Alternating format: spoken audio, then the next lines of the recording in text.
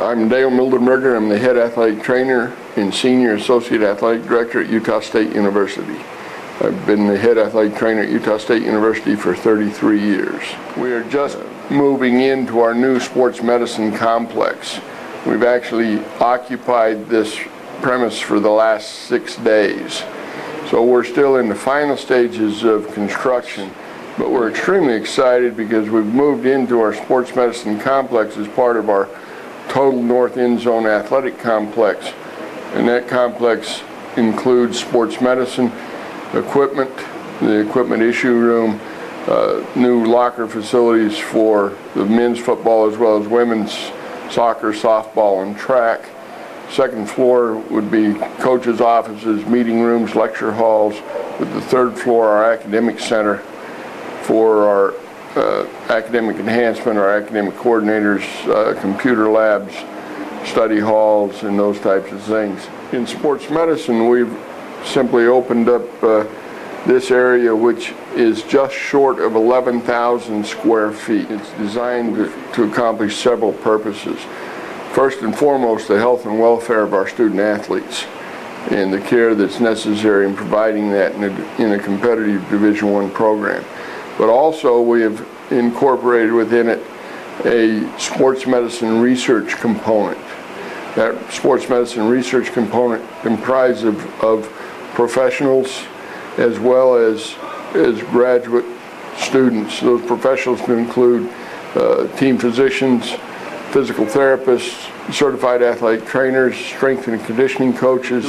We have them all housed within this central facility with offices along this hallway in conjunction with our research center, or it makes up our research center, which is composed of those physicians, those therapists, trainers, strength conditioning people, and we have 11 graduate assistant athletic trainers who are here doing master's research. All of our graduate assistants have their own uh, work area, research area, we have within this facility designed a research li library with the electronic means now available to all of our researchers.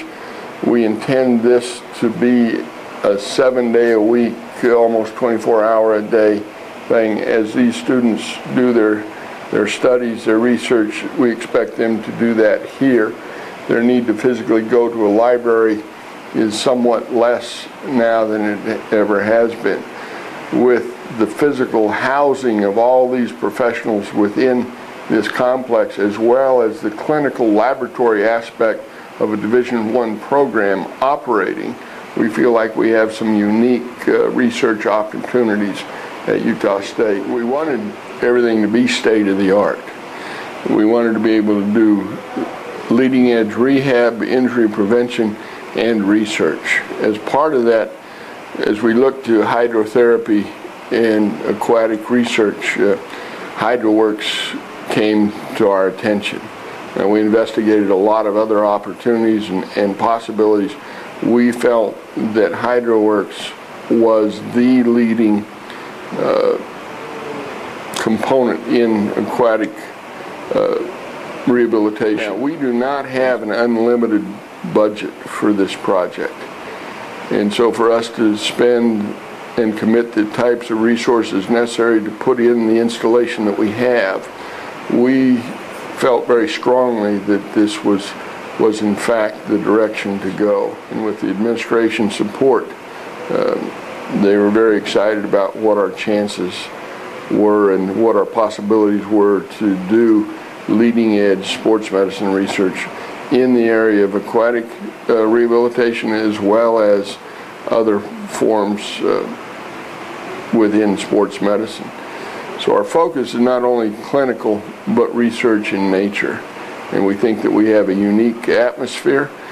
We're very proud of our facility and um, we're looking forward to uh, new and exciting things at Utah State University.